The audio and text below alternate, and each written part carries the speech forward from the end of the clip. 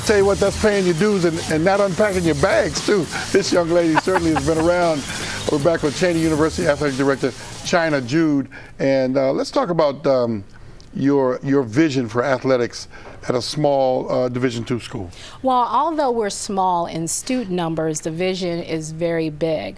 Uh, when I started there at Cheyney in 2007, uh, Dr. Vital wanted to make sure that we were taking care of all aspects of the department, not only graduation, uh, fiscal management issues, making sure they were staying in NCAA compliance. Um, that was one of the challenges that we had when we first, when I first walked into the door of Cheyney. We were on a three-year probationary mm -hmm. period, and fortunately, we've submitted our final report to the NCAA, um, which is officially due April 1.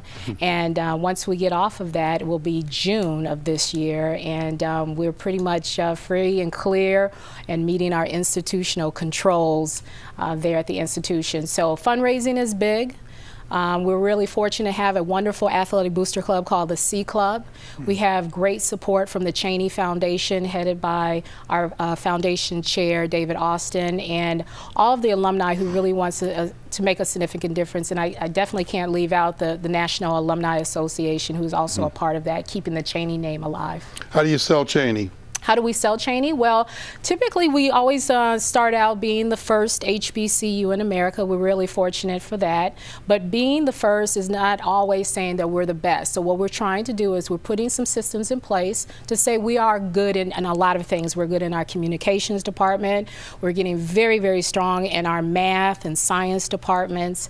Um, it, it's one of those things that we're taking some time and getting those systems in place for our athletics department to be strong. We want wind up just getting about eight who's who among uh, colleges and universities, and uh, about 30% of our student athletes have a, a 3.0 or better in our GPA. And of course, we're known for our men's and women's basketball. We're the home of John Chaney and C. Vivian Stringers, so mm -hmm. they mm-hmm. really do help both us. Hall of Famers. Both Hall of Famers mm -hmm. and uh, big supporters. Uh, and I, I talk to Coach Chaney at least once a week. It's a tough question for you. Well, it may not be that tough, but how do you keep Vivian Stringer and John Chaney working at Cheyney? I mean, uh, they're gone now, but yes. I mean, that, that caliber of coach. Uh, in terms of them specifically at Cheyney University? Yeah. Well, so, I mean, they were there. So yes, they were there. How do you keep them there? Well, we keep them there, be there because they believe in the institution. We're really fortunate to have a golf tournament last uh, year mm -hmm. where both Coach Chaney and Coach Stringer served as our honorary chairs, and that that was huge. Hmm. Um, and that was the time, of course, when Coach Stringer was inducted into the Hall of Fame, right. and that really made a significant difference in selling it. Um, with Cheyney University being their first collegiate opportunity.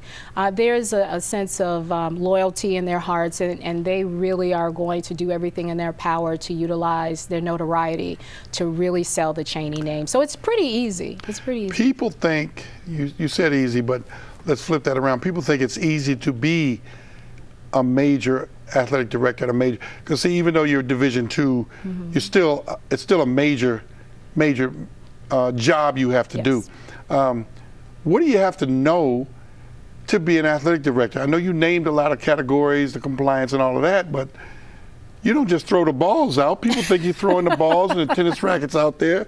You just throw the, you know, and then you say, what do you need? Uniforms? Okay, we'll order that. It's not like that anymore. No. It probably used to be like that, probably maybe 50 or 60 years ago. But today, you almost have to be a corporate exec to be an athletic director and be under somebody's tutelage before you can take over like that. I definitely agree with you on that. One of the things that I'm very uh, fortunate to have is had the opportunity to work under some athletic directors who are pretty strong. Um, Ron Fang Mitchell from Coppin State University, he served as a basketball coach as well as an athletic right. director, and I played a big part in the administration, as well as some other universities that um, really helped strengthen me. But really, for the most part, I do consider myself to be a businesswoman. Mm -hmm. uh, it's interesting when I do explain to people I am an athletic director. They think I am a physical education teacher. Right. Um, which is nothing wrong with which that. Is, which is nothing wrong with that. I think that um, our educational system definitely need more physical education teachers, especially with uh, what's going on with child obesity and things like that. But we are business people, so we definitely need to know budget. We do need to know compliance, marketing and promotions, selling the brand of a university. Mm. And so you have to wear many hats. And, and I, I think it's kind of interesting being just one of very few athletic directors in the country. Uh, at times, that are women. That are women. Right. I'm sorry, mm-hmm. that are women. Um, it's it's a bit of advantage. Sometimes I have to kind of mm-hmm. stroke a little bit just right. to get someone to warm up a little bit. Mm-hmm. But really, for the most part, once we start cutting deals, once we start making things happen, I am a businesswoman, and I think that everyone needs to understand that that we can sit at the board table with any of the big boys to make it work too, regardless of the number of students. I am sure that uh, Debbie Yow has run into that at yes. the University of Maryland, and uh, when they all is is it kind of a chauvinistic kind of business?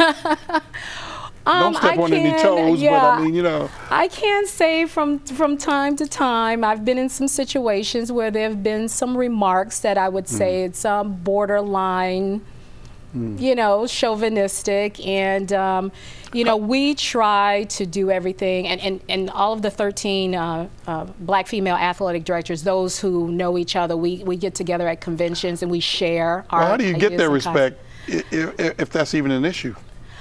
Um, show your work. There you go. You show your work. Uh, you make sure you you dot your I's and you cross your T's, mm -hmm. and you know that firm handshake. It needs to to uh, demonstrate that you are a business person 1st mm-hmm. and um, a female second. So money is green. That's right. why I'm wearing green now. Money it, yeah. is green, and that's what we talk about and graduating those student athletes mm-hmm. and making a good name for our university and making our president look good too. Right, right.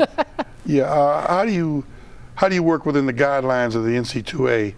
Uh, the NC2A says you can play with a, one kind of an average the school, like I went to Howard University, mm-hmm. which was really uh, hardcore.